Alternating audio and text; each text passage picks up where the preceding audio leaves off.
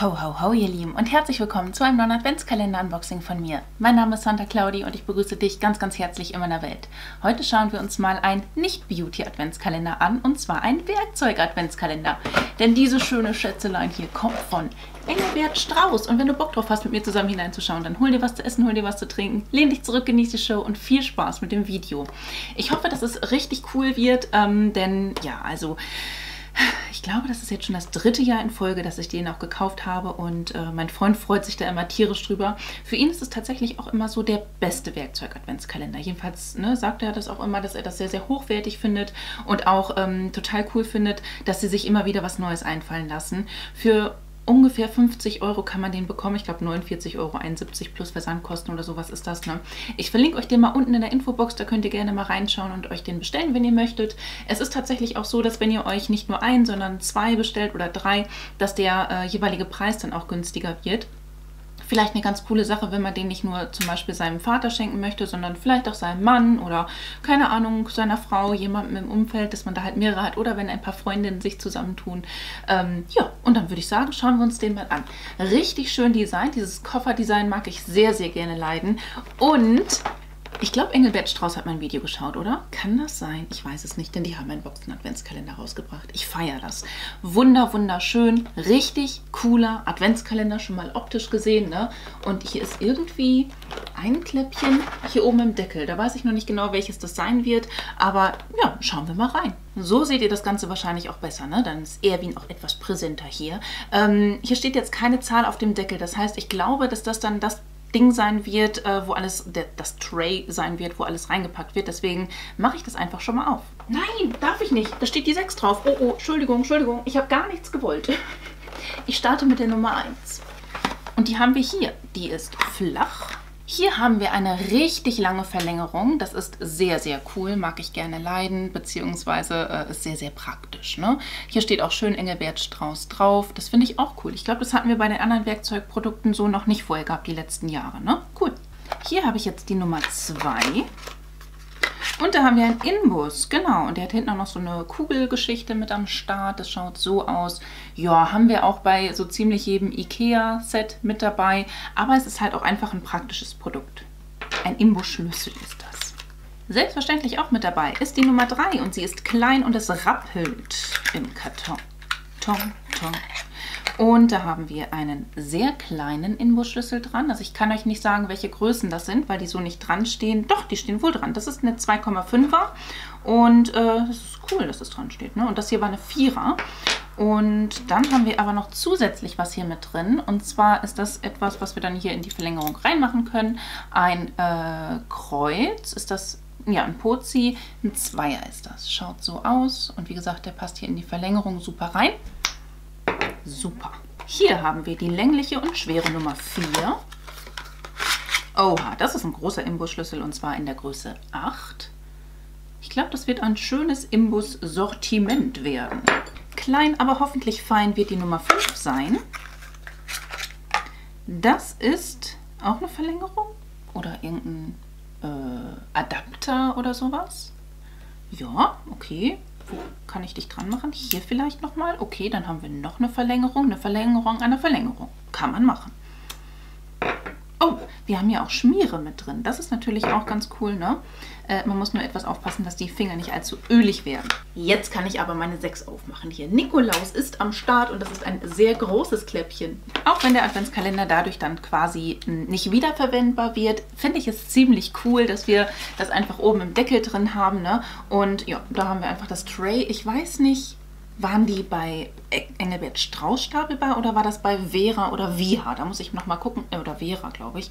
Ähm, nee, ich glaube, das war bei den Engelbert Strauß-Dingern, ne? Ich glaube, ja, und da hat Schatzi ja auch schon das ein oder andere von. Das ist nämlich total praktisch. Das hatten wir letztes Jahr herausgefunden und das fand der großartig. Genau, das ist hier auch noch irgendwie mit diesem Drehvieh. Großartig, großartig. Ich kann schon mal einsortieren hier. Denn hier ist auch noch eine, äh, wie muss ich was wo reinpacken? Nee, Anleitung hätte ich jetzt gedacht. Egal, machen wir weiter mit der Nummer 7. Da haben wir auch wieder ein kleines Büchslein und Zwei Produkte sind drin enthalten. Einmal müsste das ein Torx sein, äh, ja, ein Torx 15er ist das, der auch super für die Verlängerung dann geeignet ist. Und dann haben wir auch noch einen Außensechskant in der Größe 6 müsste das sein, wenn ich das richtig rumlese. Schaut so aus. Sieht schon alles sehr, sehr, sieht hochwertig aus. Also das mag ich tatsächlich. Die Nummer 8 darf jetzt machen, dass es kracht. Auch hier wieder zwei Produkte am Start. Einmal haben wir einen Imbusschlüssel in der Größe 3 und einen ähm, Pozi Drive in der Größe 1, also Kreuzbit in lang. Teilweise sind die Sachen auch magnetisch, mag, magnetisch habe ich gemerkt, weil das Ding mir gerade rumgekullert ist und mir ein Inbus daran etwas hängen geblieben ist. Auch in der Nummer 9 dürfen wir uns wohl über mehrere Produkte freuen. Jo, und zwar haben wir hier einmal einen Philips in der Größe 2. Das ist ja eigentlich so eine relativ Standardgröße von äh, Schrauben halt auch in dem Sinne. Und ein Torx in der Größe 10 habe ich hier. Mit der Nummer 10 wird es auch wieder mit mehreren Sachen, glaube ich, weitergehen. Genau, da haben wir auch zwei Produkte drin. Ähm, das hier ist irgendwie ein sehr spezielles Werkzeug. Das habe ich so noch nicht gesehen, muss ich sagen. Äh, und ich habe viel gesehen. Das ist einmal eine äh, Spitze. Und hier haben wir ein Gewinde auf der anderen Seite. Das können wir dann wahrscheinlich irgendwo noch mit reinmachen. Das, äh, ja, müssen wir uns mal angucken, wo das nachher reinpasst. Und dann haben wir hier noch ein Torx in der Größe 25. Auch das ist eine relativ geläufige Größe, die immer irgendwie mit dabei ist. Ich habe jetzt hier die erste Schnapszahl, die Nummer 11. Oha, da haben wir einen riesigen Imbusschlüssel und zwar in der Größe 6. Schaut so aus. Wir haben schon Halbzeit. Ich habe jetzt hier die Nummer 12. Hm? Was bist du denn? Mehrere Sachen. Okay. Okay. Was bist du? Gehört das hier hinten drauf? Zu drehen vielleicht? Was machst du? Ist es ein... Ach, das ist irgendwas Spitzes? Okay. Äh, da weiß ich jetzt tatsächlich nicht die genaue Bezeichnung. Also die lassen sich wirklich, also da hat mein Freund recht, ne? immer wieder neue Sachen einfallen. Die Nummer 13 ist riesig.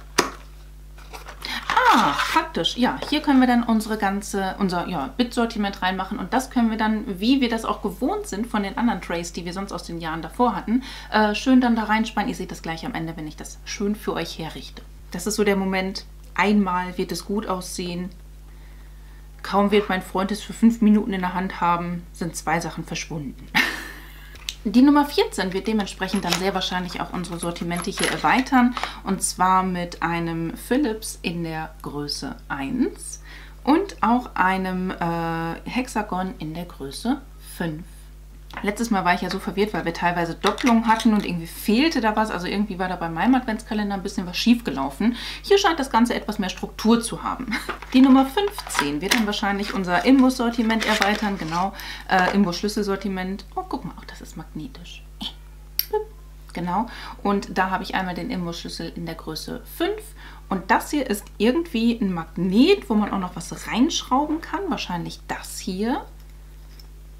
Ja, das passt auf jeden Fall rein. Ob das so muss, gar keine Frage. Äh, gar kein, weiß ich nicht, ne? Kannst auch nirgendwo hinten drauf drücken. Das ist halt magnetisch einfach nur. Ja, dieses crazy Ding haben wir auf jeden Fall hier mit dabei, was so ein bisschen aussieht wie ein Stift. Die Nummer 16 wird dann sehr wahrscheinlich unser Bit-Sortiment äh, vergrößern, wobei das ist auch wieder eine Verlängerung, aber eine andere Verlängerung als die. Okay, schaut so aus. Eine Woche vor Heiligabend sind wir hier am 17. Dezember. Hier haben wir noch ein, äh, ich weiß wirklich nicht, wie die heißen, ein Peaks-Ding. Ich nenne es jetzt wirklich einfach mal ganz unfachmännisch Peaks-Ding. Hier steht auch nichts drauf von Größe oder sonst irgendwas, also ganz, ganz crazy. Und ähm, dann haben wir hier noch einen Adapter, glaube ich, ist das. Ne? Das ist dieser hier. Die Nummer 18 begrüßt uns in der Weihnachtswoche und enthält einen wirklich winzig kleinen Inbusschlüssel. Steht da überhaupt eine Größe drauf, Leute? Das ist einfach mini, mini, mini, mini, mini, mini klein. Wirklich winzig klein. Und äh, dann haben wir hier noch einen äh, Torx 40er. Das ist dieser hier. der auch dann sich einreihen darf in dieses wundervolle Sortiment. Und ich bin ein Monk, ich möchte, dass auch die Größen mich anschauen. Der 19. Dezember steht nun vor der Tür und enthält ebenfalls, wie heißt dieses Ding? Ich glaube, das sind auch Adapter, ne? Also würde ich jetzt einfach mal so behaupten. Gar keine Ahnung. Kommt da noch irgendwas Cooles? Mein Freund hat irgendwas erzählt von wegen, oh, da ist so ein T-Stück drin. Gar keine Ahnung, was er damit meinte. Ja, kommt wohl noch. Die Nummer 20. Herzlich willkommen im 20er-Bereich geht hier jetzt steil Richtung Heiligabend. Noch so ein kleiner Prümpel, aber der ist nicht so klein wie der, den wir eben hatten. Da steht hier jetzt auch keine Größe drauf. Sieht so aus. Ne? Das ist halt ein kleiner Inbusschlüssel und dann ein Torx 20er. Den haben wir hier. Der 21. Dezember ist sehr leicht. Also das, der Inhalt des 21. Dezembers. Ein Spiegel. Ach, kannst du da mit den Dingern um die Ecke... Warte, oder? Auf jeden Fall ist es ein Spiegel, was ja auch ganz praktisch ist, ne? Ja. Die Nummer 22, die zweite und letzte Schnapszahl, enthält auch wieder zwei Produkte. Also auch wieder so ein Um-die-Ecke-Piekser. Entschuldigung, wenn jetzt irgendwelche Fachleute zugucken. Es tut mir unheimlich leid, aber tatsächlich habe ich sowas im Bereich der äh, Werkzeuge noch nie gesehen. Für mich ist es halt, wenn ich jetzt so aus dem Beauty-Bereich rede, ne, sieht das eher so aus wie etwas, womit ich Pickel ausstechen würde. Guten Tag und ähm, dies ist nämlich eigentlich eher ein Beauty-Kanal, aber ich habe selber mal in dem Werkzeugbereich gearbeitet und mag halt auch gerne Werkzeuge hier haben. Mein Freund mag auch gerne Werkzeuge, deswegen gibt es auch diese Adventskalender hier. Äh, ich kenne mich halt mit diesem Spezialwerkzeug leider gar nicht aus, aber mal gucken. Sehr witzig. Und dann habe ich hier einen Torx 30er, das ist einmal dieser hier wird die Nummer 23 jetzt am Tag vor Heiligabend mir ein bisschen Aufklärung verschaffen, dass ich irgendwie mal auf den Dreh komme, was mein Freund jetzt irgendwie mit T-Stück und hast du nicht gesehen meinte. Nee. Hier haben wir noch einen Piekser. Wirklich was? Ein Haken. Das ist ein Haken. Das ist ein Haken. Ne? Sieht auf jeden Fall mehr aus wie ein Haken wie alles andere, was ich vorher hatte. Aber halt auch mit einem Piekser vorne dran. Was? Vielleicht irgendwas irgendwo einfädeln? Aber wir sind ja nicht hier bei Handarbeiten, bei Nähen oder so, ne? Crazy. Und das hier ist äh, das Sortiment für meine Inbusschlüssel. Die kann ich jetzt hier rein sortieren. So, 24. Heiligabend. Hier ist dieses T-Stück drin, von dem Schatzi da gesprochen hatte. Aha, erwischt. Okay, kriege ich dich da rein? Okay, ja fancy. Richtig cool kannst du dann in unterschiedliche äh, Magnetrichtungen setzen hier oben mit dem Ding, ne? Hast dann hier auch das Engelbert Strauß Logo drauf. Das ist schon sehr, sehr schick. Okay, ich fülle mal den, ähm, den, den, den Behälter, das Tray. Den Tray, das Tray, unser Tray. Ich präsentiere euch den befüllten Werkzeugkasten. So schaut das Ganze dann einmal aus. Ich stehe einfach drauf, wenn das Ganze so geordnet ist. Es ist nicht lange so, deswegen genießen wir diesen äh, Augenblick und diesen Anblick. Genau. Ja, was genau man mit den Produkten anzustellen hat, das ist dann die Sache von meinem Freund. Das kann er dann selber schauen. Ich persönlich glaube, dass der Spiegel auch sehr sinnvoll ist, weil er hat mir schon sehr viele Spiegel gemobst. und äh, ja, es ist definitiv mal wieder was anderes als äh, die letzten Jahre.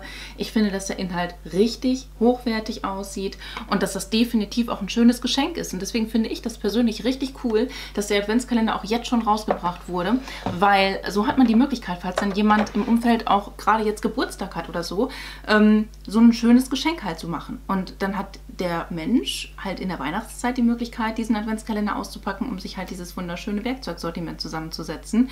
Und ja, das wäre es ja auch schon gewesen. Schreibt mir gerne eure Meinung zu dem Engelbert Strauß Adventskalender aus dem Jahre 2023, also aus diesem Jahr, unten in die Kommentare rein, da können wir uns gerne mal austauschen. Und wenn es dir hier gefallen hat, lass mir super gerne einen Daumen nach oben da, würde ich mich mega drüber freuen. Ansonsten wünsche ich dir einen wunderschönen Tag, einen wunderschönen Abend, fühl dich ganz doll gedrückt von mir. Lass es dir gut gehen und hoffentlich bis zum nächsten Mal. Ciao!